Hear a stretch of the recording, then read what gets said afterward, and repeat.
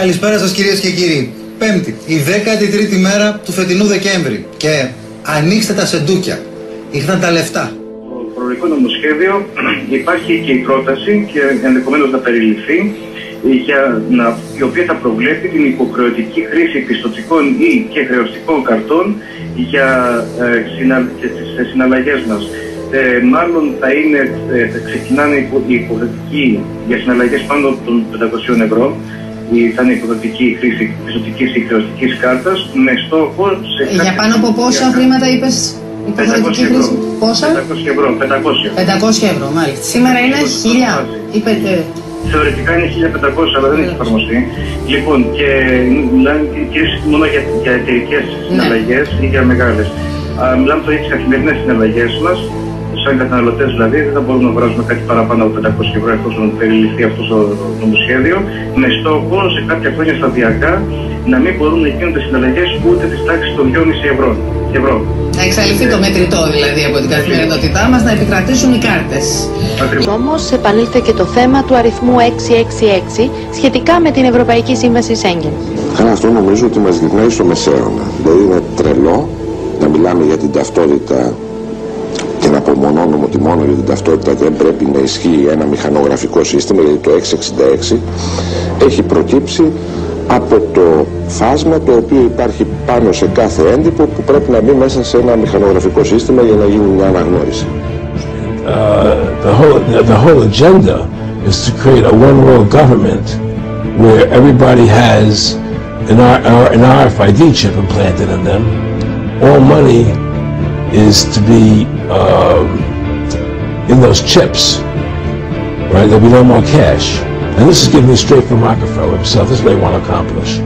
And all money will be in your chips. And so, any, so instead of having cash, anytime you have money in your, in your, in your chip, they can take out whatever they want to take out whenever they want to. If they say you owe us this much money in taxes, they just deduct it out of your chip digitally. Total control. Total control. And if you're like me or you, and you're protesting what they're doing, they can just turn off your chip and you have nothing. You can't buy food. You can't do anything. It's total control of the people. And that chip's connected to a database that has your purchasing records, what you do, what everything. You everything is in there, you know. And so they, they want a one world government controlled by them. Everybody being chipped, all the money in those chips, and they control the chips, and they control people, and you become a slave. You become a serf to these people. That's their goal. That's their intentions. Eric, you be specific about when you met Rockefeller, how it happened in these discussions. Uh, I met Rockefeller through a female attorney I knew who called me up one day and said uh, one of the Rockefellers would like to meet you. I made a video called Mad as Hell, and uh, he'd seen the video and wanted to meet me, and knew I was running for governor of Nevada. So sure, I'd love to meet him. And I met him, and I liked him, and uh, he was a very, very smart man and uh, we used to talk and share ideas and thoughts.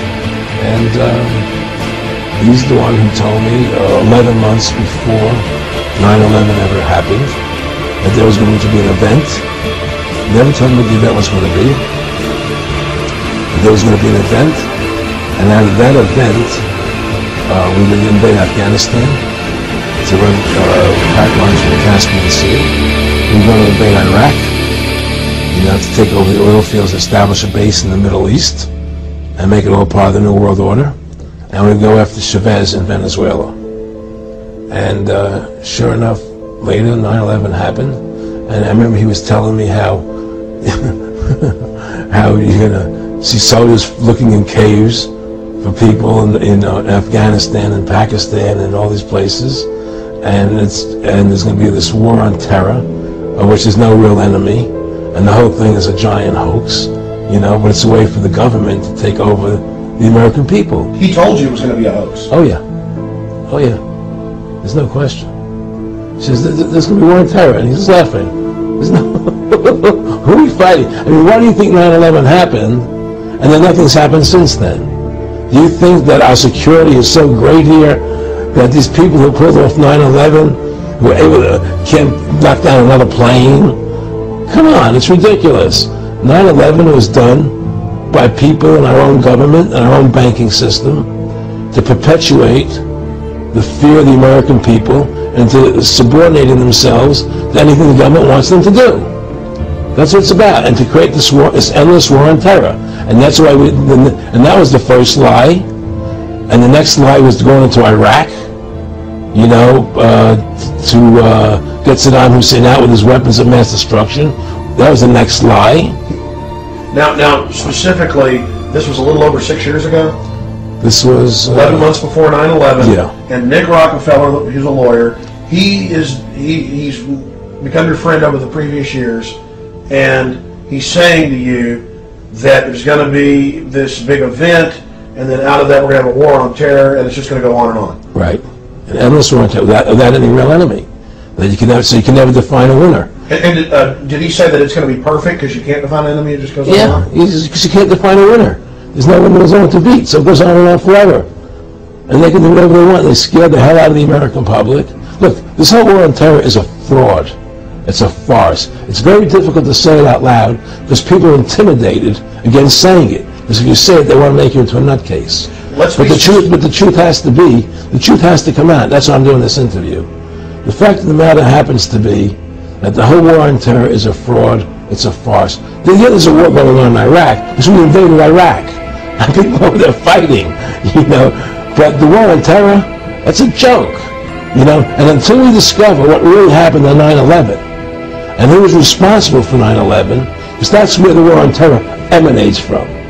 That's where it comes from. It was 9-11 that allowed this war on terror to begin.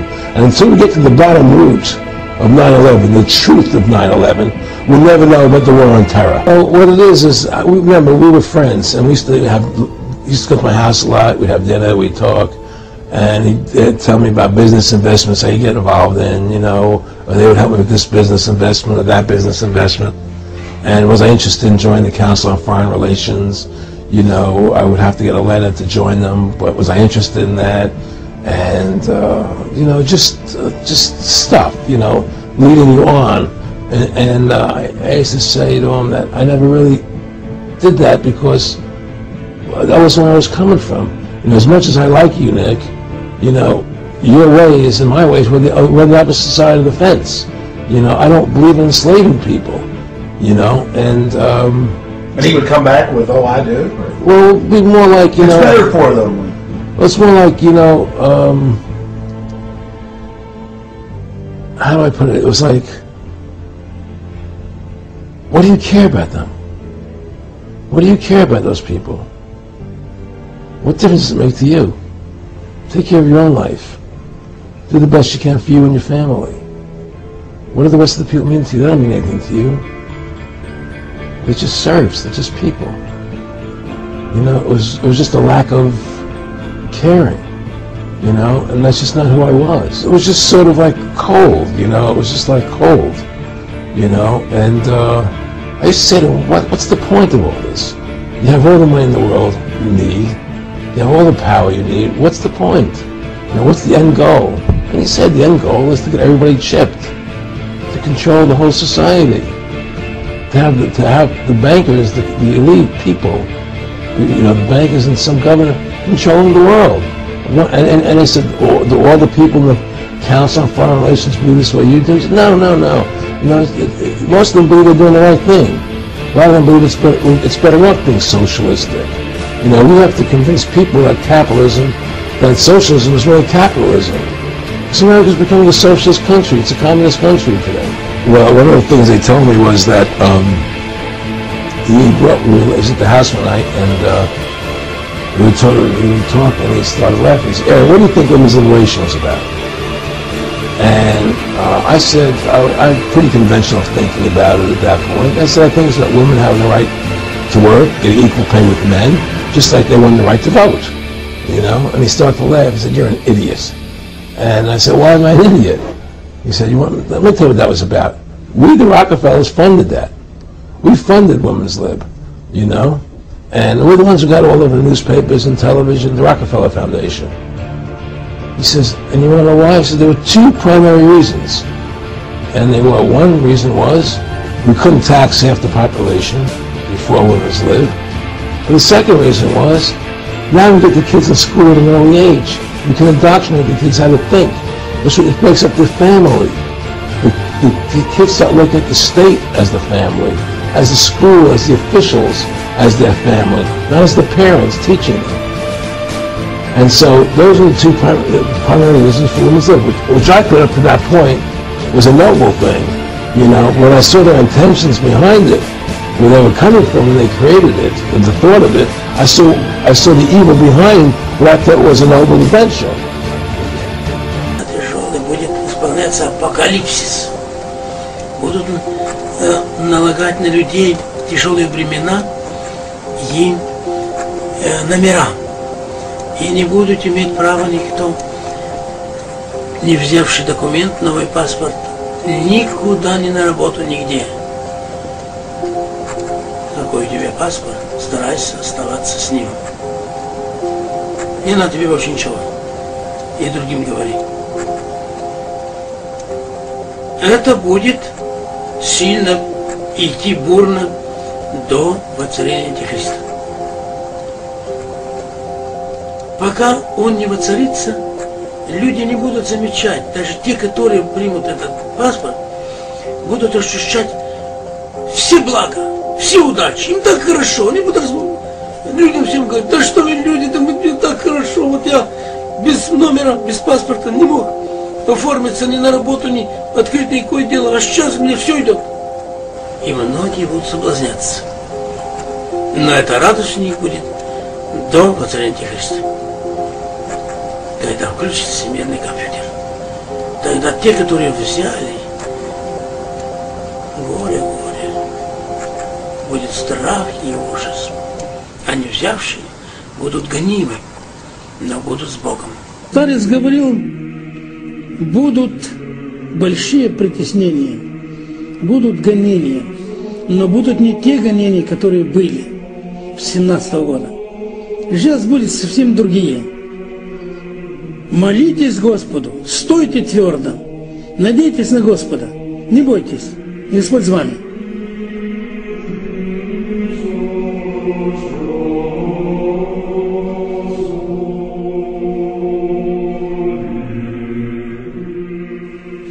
Будут добровольно, принудительно заставлять вас брать новые документы, работать на них.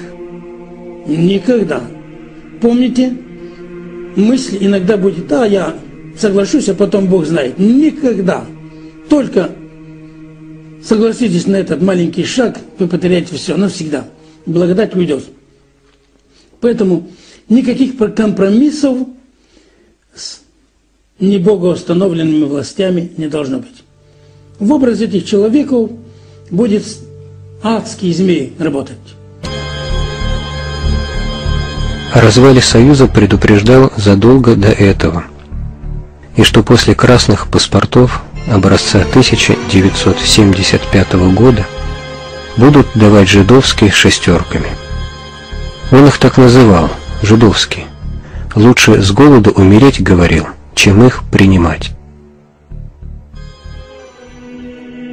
Мы должны называть себя христианами. Я христианин, а если вам я гражданин, то значит мы к миру прилепляемся. Гражданин это мужское слово.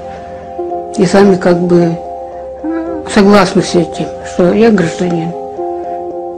То есть мы нигде не должны ставить свою подпись да. под словом гражданин? Да. Получается так. Ну что о временах? Он говорил, что будет антихрист. Паспорта не, не берите. Данилов говорил, что не бери паспорт. Это вот тот красный, да, советский? И э, вот этот российский. Красный я уже взяла. Я взяла раньше еще. К нему приехала, я говорю, отец Николай, я ведь паспорт взяла. Даже не задумываясь, говорю, взяла и он говорит, что наделала ты? Ну ладно, говорит, тут взяла еще, ладно. А следующий будут давать российский ни в коем случае не бери. Это уже будет у тебя одна нога в аду. Чувствовал себя очень плохо, очень слабенько, но благословлял и говорил, вот что паспорта не меняйте. Был такой случай, я уже вам рассказывала, приезжала с Чусовских городков Анна и говорит, что на меня такое давление, что я не выдержу получать паспорт. Он сказал, не получай паспорт. Ну и не получай. Получать его нельзя. И она говорит, тогда благословите меня на мучение. Он ее благословил, поднял руку и благословил ее. Говорит, да, лучше умереть, чем получать эти документы. А вот будут паспорта давать, будут карточки давать, чипы будут давать. Так и говорил чип? Он не, нет, не чипы говорил. А Печати говорит. Печати, да? Печать, да, ага, печать. Вот печати будут давать. Смотри, ничего не берите. Это очень страшно будет. Антихриста все это будет. Антихрист придет вот такой. Вот он говорил, что прежде чем печать ставить настоящую, народ забросает бумагами, чтобы они... Прежде чем будет э, антихрист ставить свою печать, народ забросает бумагу. Да, он так выразился. Сначала бумагами забросают, а потом будет печать.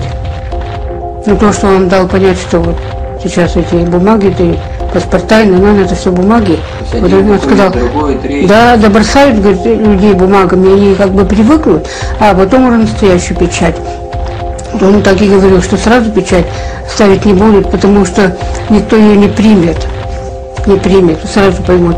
А вот эти бумаги, видимо, как бы отнимают ум, и потом уже люди примут. Вот его выражение такое было. Сначала бумагами забросают, а потом уже печать. А вот как э, он и красный не благословлял принимать? Нет. Потому что маме он сказал. Вот мне-то он так благословил. Конечно, со вздохом, говорит, Мария еще молодая. А маме сказал, а на паспорт не бери. А до этого у нее был паспорт? А зеленый. Зеленый был. Ну вот. А вот он сами говорит, что приехали домой, паспорт, если не, кто не возьмет, пенсию давать не будут. И, конечно, она по маловерию, и непослушанию батюшки она взяла. Но когда приехала, он в первую очередь благословляя ее, принесла, она паспорт взяла, она, говорит, взяла.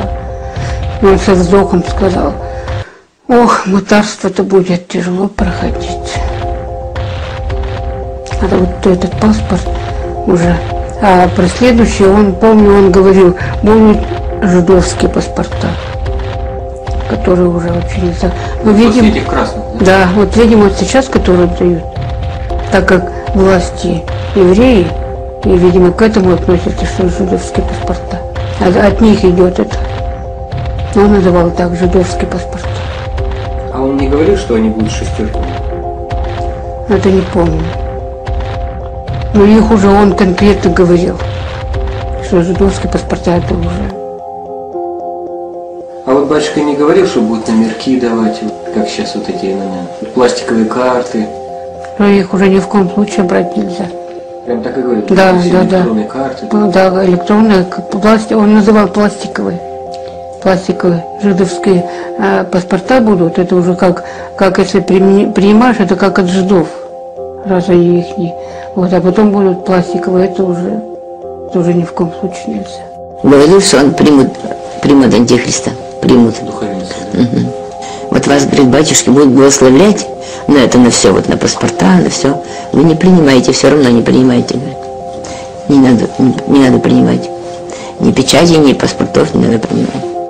А если большинство духовенства пойдет, а видишь, паства ориентируется на священников, значит и большинство верующего народа также отпадет. Будут спасаться только единицы. Вот он как-то говорил так, что враг сейчас борется так, что, как вам, я по-своему объясню.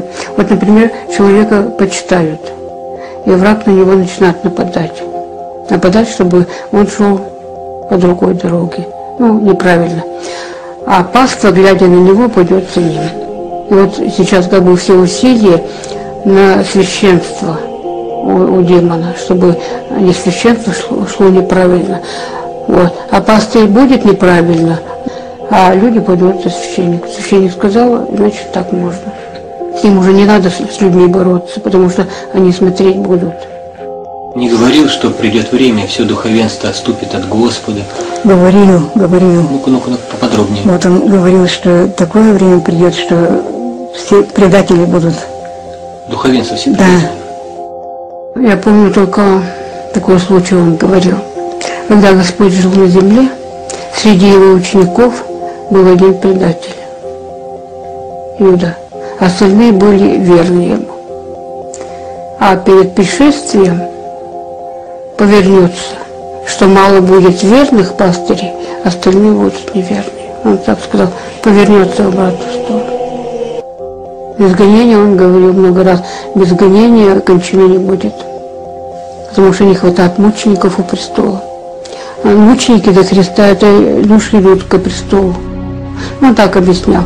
Какое число бесов упало на землю, и вместо них должны мученики, мученические души подняться к престолу. Бесовые престолы были. Вот как он сказал, как последний мученик будет замучен, число исполнится, так все, будет конец. А он сказал так, праведников Господь выведет. И даже, ну, даже из Перми, из, из любого города. Праведников выведет, только надо слушать голос. Если будет приказ, что там куда-то повезли, верующих собирают, то прятаться не надо. А надо выходить, потому что это голос Божий.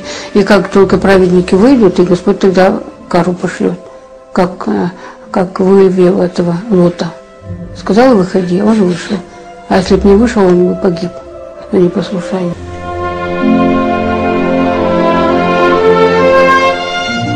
Ой, очень любил, очень любил говорить про государя императора. Да такое, что вот кто его э, государя императора, говорит, не уважает, да кто-то и не спасется даже. А вот говорил, что если за вами не придут, так вы не Божьи. Одна бабушка говорит, а как внуки? Он говорит, а ты спасаться пойдешь, а внуков своих оставишь? Вот у меня сейчас вопрос-то больной, вот у меня четыре внука, да и вот и пятый на это. И с муками вместе надо идти. С муками? Да, потому что ты, говорит, пойдешь спасаться, а их оставишь. Ну, если внуки маленькие, если взрослые, А вне зависимости всех. всех с собой. Да? Да, потому что, видимо, тут будет так тяжело. Даже Он про войну и про голод и про гонение все говорил. Он говорил, готовьте, да он еще до смерти за два года говорил, еще в 99-м, готовьте сумки. Э, В общем, будут разрешать брать две большие сумки, весь мешок. Ну, это вещей брать. Вот. Сказали, батюшка, а продукты? Он говорит, а продукты, так только сухари, потому что продукты тоже отбирать будут. Вот. И сказал, что вот э, на сборы дадут полчаса. Но старайтесь попасть на первые эшелоны, потому что там сама Божья Матерь будет встречать. Сама Божья Матерь первые эшелоны будет встречать. Вот, и будет хорошо жить. И вот так руками взялся за голову и сказал, а здесь-то что будет? Он говорил, что вот туда приедете, и можно будет за- за- занимать любой дом, любое место. Лю- людей, да, уже людей, э, видать, будет, пос- но он говорит, будет это после военных действий. Говорил, если за вам не приедут, э, ну, э, так вы уже и не божьи, надо за колеса хвататься, э, за, но стремиться попасть в первый состав. Он очень переживал, что нет покаяния, понимаете. Он все это же видел, что, как говорится, что в храмах ну, нет того покаяния, нет того понятия, что ли, в какое время мы живем, что это все так легко принимают эти номера. Он вообще был против, если вот на храм принимает номер? Очень против, потому что это антихристовый номер на храм. Это же него было несовместимо в нем, в нем понятие, вот это принятие. Отец Гурий давал литературу, вот, об этих вот никаких банковских карт, ни кредитных чеков, вот, ни чековых книжек, ни, все это вот о числе, анти, о числе антихриста, о чипах. Но, как в Писании говорится, если вы этот чип оденете, то уже вы не Божьи люди. И это одно еще. А второе, он вот на этих э, проповедях такое говорил, что, конечно, ему не разрешили потом уже быть. Он открыто говорил, в Синоде ведь э, нет почти настоящих православных митрополитов. Есть три человека, говорит, может быть истинных. А больше, говорит, нет. Остальные это все, говорит, это. Все сторонники глобализации. Там нет уже таких истинных. Батюшка нам э, всегда говорил, У него было это самое главное, чтобы все мы, чадушки, спаслись. И он всегда говорил, ничего не принимайте, нигде не подписывайтесь, э, не берите ни карточек, ни, маг, ни магнитных, ни паспортов, э, ни, ничего бесовского не брать, не, нам не благословлял. Если одно примете, то примите и другое. Одно из, из каких-нибудь бесовских документов возьмешь, то значит примешь и печать. Не устоишь, э, не устоишь малом, то значит получишь и печать. Как говорил, что если принят документ, ну, документ личности, там же есть и код, это уже человек становится как бы, ну плохо говорил, что он это уже мой человек принял, э, принял паспорт, принял все, принял... Не говорил, что с принятием паспорта человека без входит, благодать отходит? Он говорил, что благодать от человека отходит. Вот это он говорил. Принявший паспорт, он вот уже принят, примет печать. Ему не устоять печати. Почему? Он, он настолько, настолько он был против вот этих всех антикристовых документов, это надо было видеть, вот это его родение его, видеть. Ну.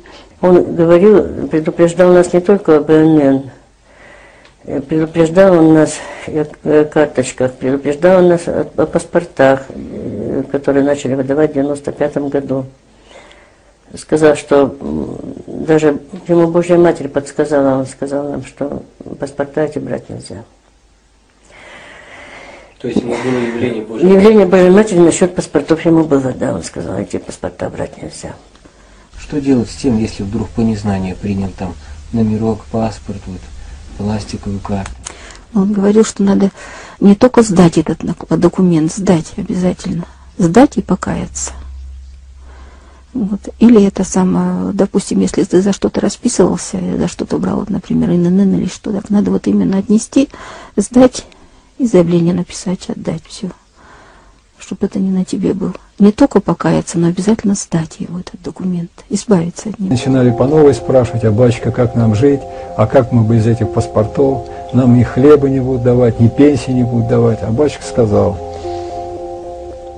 выбирайте между Христом и этим паспортом.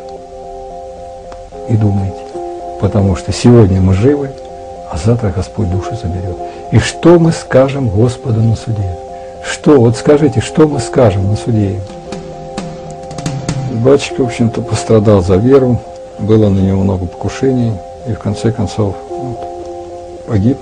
Я когда к отцу Кириллу все это выражал, он только был, ну это свойственно ему, старцу, у него было такое удивленное лицо, очень радостное, такое торжествующее, вот надо было видеть в, этом, в этот момент, был очень такой восхищенный, такой вот, глядя на меня, и, и я сам радовался, и, и, и понимал, и не понимал, что со мной происходит, и, в общем-то, меня это особо-то не интересовало, для меня это было все второстепенно, мое личное духовное состояние, мне главное было работать, но было, э, что я не мог не говорить, говорить, я не мог не делиться с людьми. Я был рад, если мне находится собеседник, я ему все это изливал, все это вот о том, о том что же такое ННН, к чему она ведет, какие силы задействованы сатанинские, какие организации, чьими руками все это делается, как народ обманывают, вот, какими идеологемами, какими политическими средствами все это делают, как все хитро, лукаво, как лукаво, как лукаво, это же даже не передать.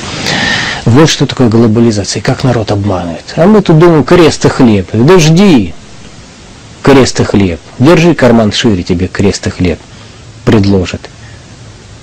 В том-то и западня э, у дьявола, в том-то и его э, средства обмана, что людям не дать опомниться, чтобы они как были оболванены, они как были зомбированы, вот таким бы и остались до самого прихода Антихриста. И тогда уже готовенькие поклонялись бы ему – а печать она сейчас его в действии. Вот это вот штрих-код, это и есть та самая печать Антихриста. Только она будет наноситься лазером. Невидимо будет носиться. Человек пойдет, да более откровенно, пойдет получать пластиковую карточку или новый европаспорт. И в этот момент, когда он будет просовывать руку а, в один приборчик, тут ему будет наноситься и лазером. Это секундное дело. И печать э, на правую руку будет входить, входить в комнатку для получения этого паспорта или фотографирования будет наноситься лазером тут же моментально при фотографировании и печать его на лоб. Мы привыкли так вот думать, что печать э, это будет скотская. Да, действительно, отцы так и говорили, Лаврен Черниговский, Нил Миртачев, печать будет скотская, видимо, невооруженным глазом. Но поскольку у нас сейчас у народа стала жизнь лукавая, нераскаянная, Господь попустил и другую печать, то есть изменил и пророчество. И попустил такую же лукавую печать, лазерную. Вот и Христофор об этом говорил, и Иероним э, Санахсарский тоже об этом говорит, что печать будет лазерная, невидимая. Вот как вот вы, люди, будут здесь надеяться увидеть, увидеть крест и хлеб. Да его надо вымаливать, это, это зрение духовное. Просить Господи, помоги, чтобы не вляпаться во всю эту меру. Дай зрение разглядеть, где эта печать. Да, принимает паспорт, что он принимает? Он духовно поклоняется Антихристу. Он же духовно принимает печать. Ты пошел в налоговую, написал заявление на пластиковую карту, тебе сразу без сразу невидимо печать поставил на правую руку пошел в налоговую инспекцию, НН принимать, тебе сразу э, без запечатлел печатью своей, невидимой. Так вот, почему э, Ефрем Сирин э, пишет, он же нас предостерегает в своем слове на второе пришествие Христова. О чем пишет? А кто не будет запечатлен печатью его, тот ему и не поклонится. Так вот, делайте, дорогие отцы и братья, вывод. Какой? Если ты не примешь его печать, ты ему и не поклонишься. А это значит, что печать его давным-давно уже в ходу. Это его антихристова печать. Вот эти номерки, вот эти паспорта, пластик, это все его печать. Если сейчас вы это все принимаете, вы же как миленькие будете ему поклоняться. О чем писала Верки Таушев? Многие из христиан будут знать, что это Он, Он пришел, Он воцарился. Но они не найдут в себе силы духовные и Ему противостать они будут как зомбированные, потому что благодать их давным-давно уже покинула. Они будут в страхе животным и ему поклоняться. Вот что пишет Аверки Тауша. Это, это уже зримые реалии недалекого будущего. И главная трагедия это в том, что мы сейчас, не глядя от этой сатанинской власти, принимаем это все номерки, паспорта, пластиковые карточки, еще трубим, да ничего страшного. Что вот такое, что, что в этом бумажках вы такое, такое видите? плохого. Люди всегда жили паспортами. Когда жили? Безумные. Хоть бы удосужились посмотреть, какое учение старцев о советском периоде времени, советских паспортах. Что говорили старцы, которые в тюрьмах сидели, в лагерях сидели об этой власти? Что они говорили? Можно ли было от нее что-либо принимать? Можно ли было участвовать в коллективизации, в этих самых, в, стро... в, в, в первых пятилетках? Можно ли было? Так вот, если вы этого не знали, какие же вы пастыри, какие же христиане, если в этом вопросе самым главным не разобрались. И помазанника не почитаете как толком, как должно быть. Не хотите не каяться. Чины, любые чины, хоть в тайнике, хоть если на приходе себя священник проводит чин, пока им все это называете хулой, ересью, сумасбродством, помешательством. Какие же это пастыри? До тех пор, пока человек не будет каяться за цареубийство, пока на деле не отвергнет номерки, паспорта, вот, документы, которые принял эта власть, на нем будет прилипать кровь помазанника. Поэтому все эти покаяния только одно слово. Когда мы приходим к священнику на исповедь, первое нас что должно быть, я каюсь, Господи, за то, что предал царя. На нас и кровь пребывает. А свидетельство этой крови тем, что я участвую в этой глобальной системе. Вот где корень должен быть нашего покаяния, а мы этого не хотим видеть. И спокойно, веря этим нашим богобородым пастырем, идем в храмы, слушаем, для нас это авторитет, сказал же батюшку, патриарх же благословил, а что он благословляет? Какую мерзость? Стойте до конца. Знаете, что все, что Богом опущено, человек должен пройти. Ничего не может быть без подвига. Если в первые времена христианства были подвиги мученичества, вы помните, четыре века, а потом были такие века, где от христиан требовалось подвижничество. Либо целомудренное супружество, либо девственность, либо воинствующее монашество в подвигах. Потом были разные времена, и так последнее будет тоже такие сильные, страшные гонения. Не надо. Покороче будет, но будет жестче и быстрее проходить. Молитесь Господу. Стойте твердо, надейтесь только на Него. Он источник жизни. Не может никто больше и сильнее, и выше Его. Он рядом будет стоять. И я вспоминаю тот рассказ той девицы, которая в 98-м, что ли, году было в Молдавии, которая сказала, Господь рядом, я буду рядом стоять возле вас, когда буду вам предлагать эти документы. И когда пришлось спросить, Господи, а если рядом, почему не остановишь? Да потому что я вам дал свободную волю. Это только враг может вас насиловать. А у меня нет насилия, я вам свободно. Открыл вам глаза. Хотите ко мне, не берите, ничего земного.